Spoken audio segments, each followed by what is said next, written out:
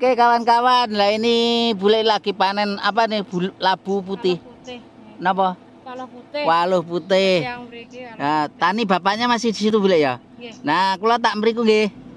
Matur su Langsung mriko. nggih, matur sun. anu, Nggih, nggih. Matur sun bule. Oh nggih. Ah. Ini kawan-kawan baru ketemu bule di jalan panen labu putih. Nah, ini tempatnya kan kawan. Tidak jauh. Saya mau menyoting babaknya. Ini kawan-kawan rumah pondok kebun. Nah, semua rata-rata begini kawan kalau daerah di sini. Jadi tanahnya lebar-lebar, tapi perumahannya jauh sana. Nah ini, wow lagi. Mantep. Nyangkul. Nah ini kan kawan, tempatnya tanahnya media pasir tapi agak hitam jadi subur nih kawan-kawan.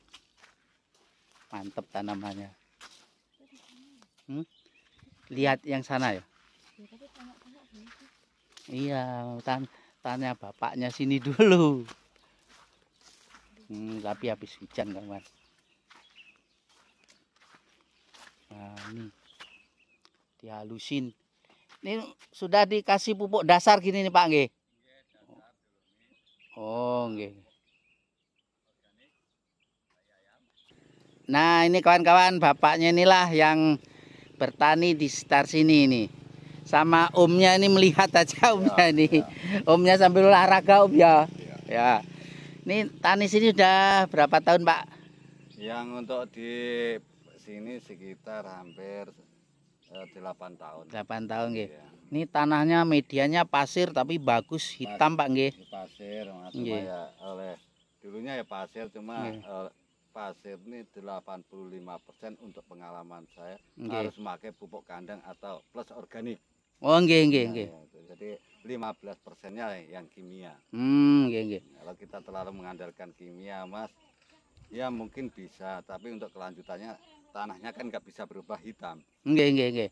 Kalau ini saya lihat paling bagus karena apa? Sudah kayaknya sudah 50% eh, sudah ini jadi tanah subur kayaknya. Iya, ya itu. Ini rencana tanaman apa nih, Pak? Tomat, Oh, tomat nggih. Semua nih sini. Iya sampai sana. Oh ya, Kema- kemarin tuh saya mau ke sana ke- sudah siang pulang saya. Iya, iya. Lagi situ datang foto. Wah, ya. Terus gimana, Pak? Rumahnya jauh kah? Ah, rumahnya itu kebetulan. Oh, dekat situ ya. Oh, pagi ini habis bajak tuh, Pak nggih. Ini diaduk, Mas. Oh, Jadi oh diaduk di- pakai cangkul aja nih. Ya, pakai kultivator. Oh, pakai ini nggih. Iya. Oh, ini kawan-kawan kalau sudah di eh, kasih pupuk dasar baru di traktor nih diaduk-aduk kan kan. Jadi nggak perlu pakai cangkul. Nah, ini mesinnya baru kan kawan. Baru berapa nih Pak harganya Pak segini nih Pak? Ah, oleh petani bilang orang Jawa ati karep bodo cepet, Mas. Otomatis membeli yang harga murah minta bantuan sama pemerintah ya rasanya Belum dapat nah, ya. belum dapat Ya mudah-mudahan tahun depan dapat. Nah, dapat Nah ini anu Pak ya, Ba- Bapak di sini membentuk kelompok tani atau anu perseorangan aja Pak ini?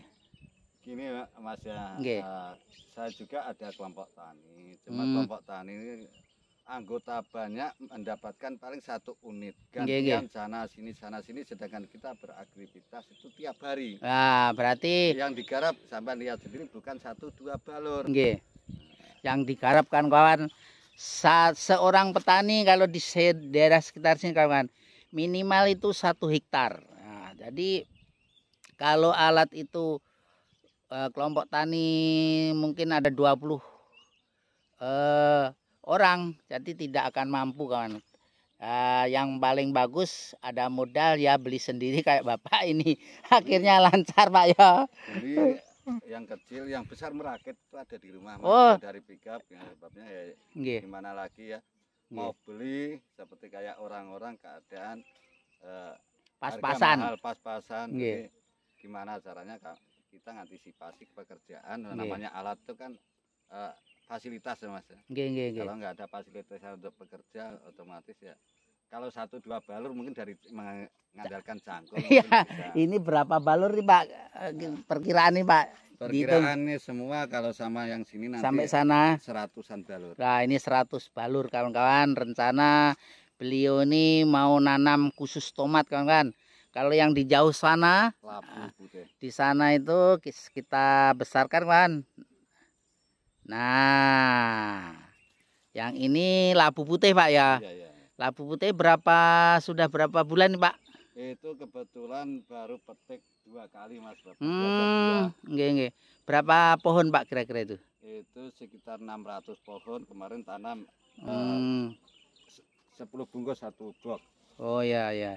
Lah di sana itu kan Wan labu putih sekitar 100 bungkus, Eh, Eh. bukan 100 bungkus, 600. 600 pohon, 600 bung- sebut pohon, dari 10 bungkus. 10 bungkus. Itu sekali panen berapa hari itu, Pak? Kalau sudah Labu normal. Ini oleh kita ngikuti pasaran kemauan pasar ya mas ya. Nggih. Kita kadang-kadang ada yang besar kita petiki sesuai dengan kemauan pasar. Kadang-kadang Hmm, setengah hari itu kalau pas mu- musim hujan tuh cepat besar. nggih. Jadi satu hari bisa panen dua kali mas. Jadi se- eh, labu ini cirinya kalau banyak air cepat besar Pak ya Ya, berarti. besar, Oh iya apa? ya. Eh, kemauan pasar kan satu kilo tuh tiga biji mas. Oh nggih nggih Iya. nggih nggih. Lebih eh, itu kalau kebesaran pasar juga nggak mau. Oh jadi cari yang sedang aja Pak ya. Yang sedang. Supaya lakunya cepat. Iya gitu. Nah, ini berarti kalau labu ini biasanya mulai panen pertama umur berapa bulan tuh, Pak? Labu ini kan umurnya sekitar eh, 45 hari. Oh, Ya, su- sudah 45 bunga. hari sudah mulai buah. Nggih. Iya. Oh, ja- jadi di situ sebelum labu dulu apa tuh, Pak? Tanamannya situ? Kemarin tuh langsung tanam labu gitu. Oh. Mungkin setelah labu kita revisasi kita buang tanami kacang yang tidak sejenis atau gimana. Oh, nggih, nggih, nggih. Ini nanti rencana mau pakai ini lagi enggak, Pak nih? Setelah ini selesai nih. Iya, pa- pakai. pakai lagi Iya. ya ini ternyata bapak ini eh, tanah ini didominasi pupuk eh, dasar kawan ini bahannya yaitu pupuk kandang kawan ini campurannya apa nih pak pupuk kandang nih Eh, itu pupuk kandang itu nah ini kawan-kawan pasti rawan jamur ya mas ya. Nggih. Eh, kita semprot pakai fungisida. hmm, disemprot Eh, Da- jadi fungisida. pupuknya disemprot juga Iya kita tumpuk, kita Nggih. semproti pakai fungisida supaya menghilangkan unsur jamur, Unsur jamur. paling tidak. Nggih, lah, nggih, nggih.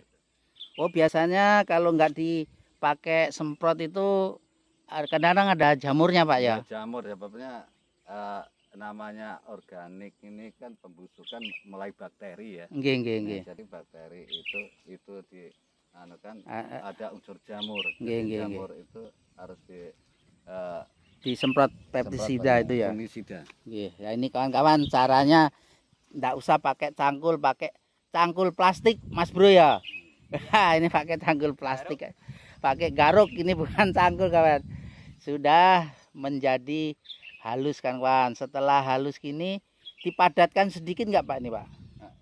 Ini nggak perlu dipadakan kalau dipa- terlalu padat akarnya nggak bisa berkembang. Mas. Hmm, nanti nunggu berapa hari nih Pak nutup pakai Ini mursa Pak nggih? Langsung ditutup mas kalau nggak ditutup ada curah hujan yang tinggi. Oh iya iya ya. Habis, ya. Bisa bisa melebar Pak Iya, ya. iya, ini ini Pak Bapak eh dengan Bapak siapa nih Pak namanya Pak? Ah, Bapak Suprawoto kalau Bapak yang Suprawoto. itu Mas Dedi Saputro. Ini Mas Dedi Saputra ini bagian penghalusan kan Wan ya meratakan nanti habis itu ditutup morsa Pak nggih. Nggih. Hmm, jadi biasanya kalau setelah ditutup morsa itu jangka berapa hari Pak menanamnya ini menanam? Ah, minimal minimal itu 10 hari. Hmm 10 Ya, hari. jadi seperti ini kita siapkan tempat mulai nyemai di rumah mulai nyemai. Nggih. Jadi setelah ini netral agak dingin Iya. pupuknya baru kita tanam bebemnya organiknya nanti kalau kita langsung tanam kan masih panas. Mas. Oh, belum meresap ya. Iya, Belum menyatu dengan Tanah. medianya. Iya, iya. Nah, ini kawan-kawan penjelasan Bapak ini cukup eh tersusun dan memang kalau kita lihat kenyataan di tanaman di sana itu memang hijau kan kawan dan Bisa dicek buahnya sangat bagus kan kawan. Nah ini lihat kawan. Nah seperti di plester kan. jadi jadi saya lihat di sini kan halus ini. Kukira di tubuh di anu apa itu diratakan di pakai ini pak pengerasan Iya, gitu ini ya. rata aja. Mas. Nah kalau ternyata hanya pakai ini alat dari Plastik. ya. plastik kan kawan. Nah, sangat sederhana tapi hasilnya maksimal, rata dan rapi kan kawan kerjaannya. Terus ini pembibitan tomatnya di mana nih Pak? Ada di rumah. Oh, di rumah ya? Kalau kita di sini eh, Nanti nggak dijaga malamnya gitu. ya? malamnya kadang-kadang ada anjing liar. Nggih. apakah, anu, kalau dekat rumah kan antisipasinya. Hmm. Enak merawatnya Pak ya. enak Merawatnya. ya. Terus itu biasanya mindahnya sampai berapa hari Pak? Tomat itu Ya, di lihat. Ya, lihat keadaan perkembangannya kalau sudah memang eh, mampu dipindah dipindah. Sebabnya kami juga pakai polybag mas. Hmm, pakai oh gampang loh ke Nggih, polybag. nggih, nggih. Jadi nggak takut layu Pak ya. Nggih, nggak takut. Nah ini pembibitannya kawan ada di rumahnya Ya, saja nanti supaya eh, merawatnya gampang dan beliau juga pakai polybag. Jadi tidak khawatir tanaman itu layu kan kawan. Nggak- Jadi nggak langsung di, dua kali. langsung dipindah, langsung hidup Pak ya. Nggih. Terus habis dipindah tuh berapa hari mesti dipupuk ya Pak? Itu di anu aja di kalau curah hujannya kurang terus Nggih. apa anu ya perlu penyi- penyiraman Nggih. cuma saya belajar bukan anu meninggalkan kimia tapi Nggih. saya belajar namanya orang kerja Nggih. itu saya kocor pakai organik aja dulu Oh nggih. Iya. Oh dikocor organik kita Iya. sudah cukup subur Pak Iya, nggih. iya. saya saya rendamkan sama pupuk organik ini Nggih. drum itu jadi saya kocor itu setelah kocor akar sudah nyampe ke pupuk yang diaduk ini otomatis sudah enggak Sudah bagus ya. sudah bagus jadi Jadi nanti habis ditanam dikocor pupuk ini Pak ya. iya kocor Nah ini kan kawan, ini pengalaman baru nih kan kawan. Jadi eh, nanam tomat di sini di media sini kan kawan. Eh, nanti sudah ditanam sini berapa hari, baru bapak ini mengaduk ini pakai air dikocorkan kawan. Jadi tidak pakai pupuk kimia dan beliau mencoba ternyata berhasil tanamannya subur kawan. Demikian video sahabat mudah-mudahan bermanfaat bagi yang menontonnya. Sekian, terima kasih.